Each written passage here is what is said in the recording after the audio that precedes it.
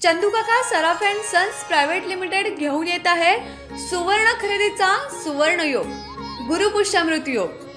तर नक्कीच भेट द्या Chandukaka Saraf and sons private limited railway station समोर कोल्हापूर इथं.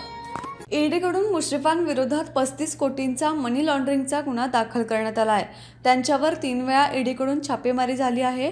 ईडीकडून करण्यात येत असलेले सर्व दावे हसन मुश्रीफ यांच्याकडून फेटाळून लावण्यात आले आहेत.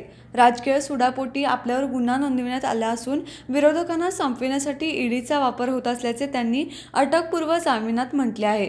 मात्र ईडीने राजकीय कारणांसाठी वापर होत असल्याचा मुश्रीफांचा आरोप फेटाळून लावला आहे. अटकपूर्व जामिनावरील सुनावणी पाच जूनपर्यंत तहकूब करण्यात आली असल्यानं मुश्रीफ यांना अटकेपासून संरक्षण मिळणार आहे. तर अशाच ताज्या अपडेट्ससाठी speed news live twenty four चॅनेलला सबस्क्राईब करा आणि बेल आयकॉनवर प्रेस करा.